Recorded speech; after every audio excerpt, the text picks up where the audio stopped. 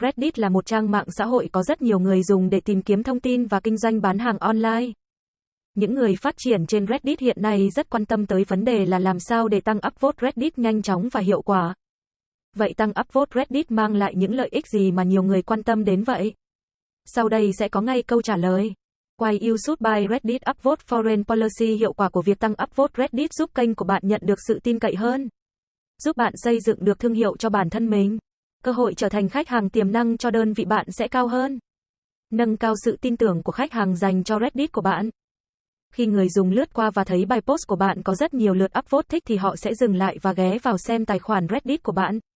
Lúc này họ sẽ nghĩ rằng Reddit của bạn hữu ích, đáng tin cậy, uy tín, được nhiều người quan tâm. Từ đó nâng cao sự tin tưởng của họ dành cho Reddit của bạn. Tăng lượt tương tác và số lượng người tiếp cận bài viết cũng như Reddit của bạn xu hướng tâm lý người dùng Reddit cũng như các trang mạng xã hội hiện nay là khi thấy một bài post có nhiều lượt upvote thì bấm vào xem, từ đó lượt tương tác cũng như người tương tác Reddit của bạn sẽ tăng lên. Sử dụng dịch vụ auto upvote có nên không?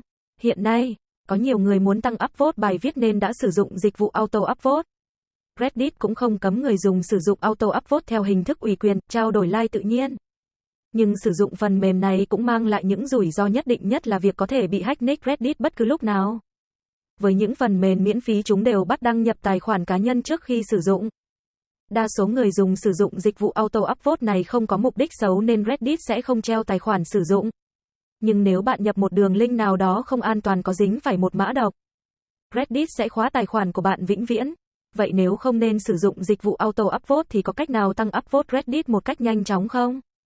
Đừng lo, đến với đơn vị Auto Marketing Pro với chế độ bảo hành hấp dẫn sẽ mang đến cho khách hàng dịch vụ tăng upvote Reddit uy tín, an toàn và chất lượng nhất. Trên đây là những lợi ích của việc tăng upvote Reddit.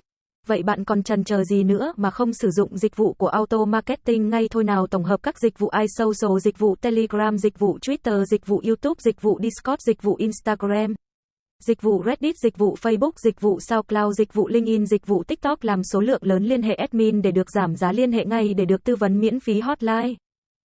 08 7749 6688 Zalo 08 7749 6688 Tool Marketing.pro chuyên cung cấp các dịch vụ mạng xã hội, iSocial chất lượng cao, dịch vụ Facebook, dịch vụ Instagram, dịch vụ TikTok, dịch vụ Telegram, dịch vụ Twitter, dịch vụ chạy quảng cáo Facebook, Google, Twitter, dịch vụ làm website giá rẻ. Liên hệ ngay website toolmarketing.pro hotline 08 7749 6688 để được tư vấn miễn phí.